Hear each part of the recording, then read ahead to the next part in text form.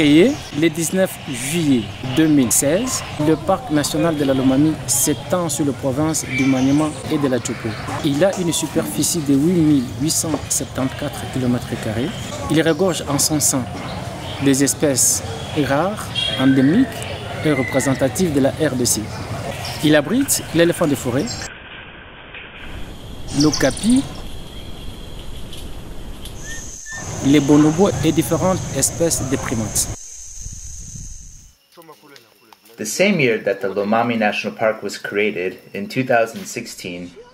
elephants were still being poached in the park, and particularly in its buffer zone.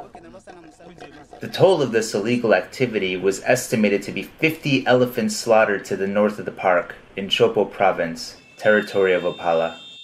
In 2018, two leaders of poaching gangs, Kitona and Ranger, expressed their desire to give up their illegal hunting. They wanted to surrender in order to work for and contribute to wildlife conservation efforts. Importantly, none of these poachers were known to have committed or have been involved in any crime against humanity. The first expedition in January and February of 2020 established contact and obtained the poachers' desire to surrender in writing. Subsequently, the Corps for the Protection of National Parks, Corps PPN, began to prepare for the surrender of these poachers. The 27th of February 2020, Kitona and his gang handed their weapons over to the Congolese army, FARDC, 5 kilometers outside of Opala. na mboka na biso okomi na gouvernement mosusu kozala malamu hmm. ndenge président mosusu asi aleki problème na makasi eza moto nyonso aluka na ndenge na ye na olenge na ye hmm. nakofanda lisusu na zamba te bopesa nga place nafanda na kati ya ville ya mboka hmm. soki bianga nasala nga nde nasali mpo mobali na nga abima tolembi na zamba toboti ebele tozokotela kaka na zamba sufrase eleki nde namoni ke tobima libanda bana mpe batanga mpo bana batangi te bango bamosusu baza na volonté ya kobima nano totuni bango te ye soki akei elongi na ye epa na bango bakobima bamosusu babangaki soki tobimi bakokanga biso hmm. yango bango batikalaki nano nsima hmm. soki ye azongi bango mpe bakobima After this surrender on the 2nd of March 2020, Kitona and his gang traveled to Kisangani, where the discussion with the core PPN took place. totia eloko moko na motu na biso biso nyonso ndenge tofandi awa tozali bakongole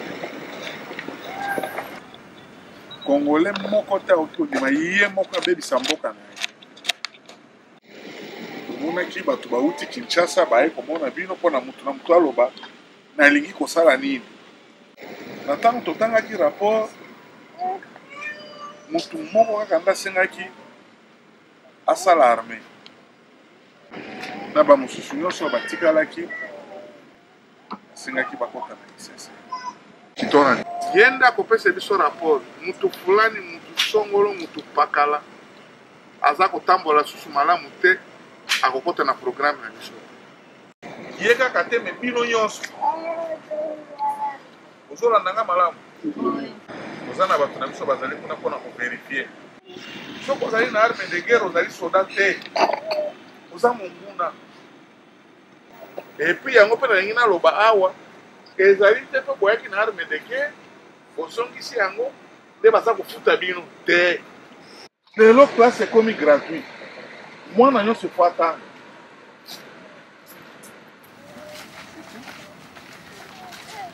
After these exchanges between Kitona's gang and the core PPN, each poacher signed an act of engagement.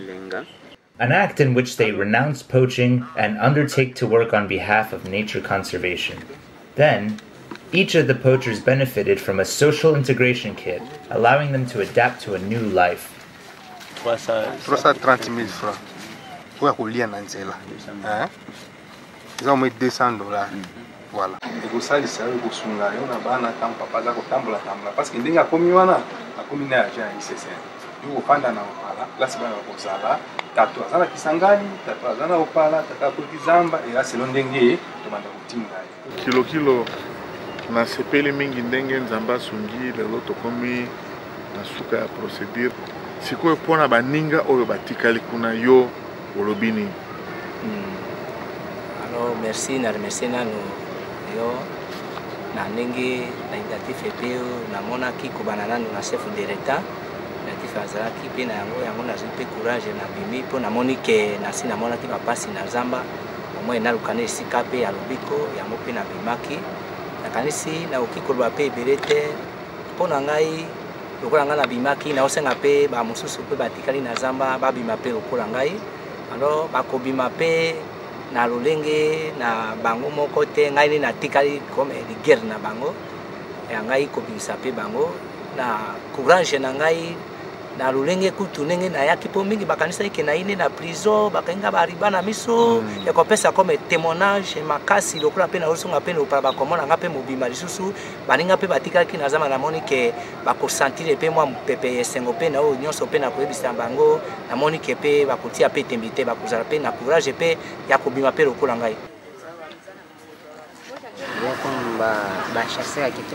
awa na yei na ndenge ya komosala kotika mosala ya zamba nazo na guvernema po toye tokangi mi te toza bien tozolia bien ntango maka biso mpe bango mpe na volonté na bango bakotika mosala wana Nous sommes satisfaits de la réduction de cette bande de braconniers qui était dirigée par Kitoma.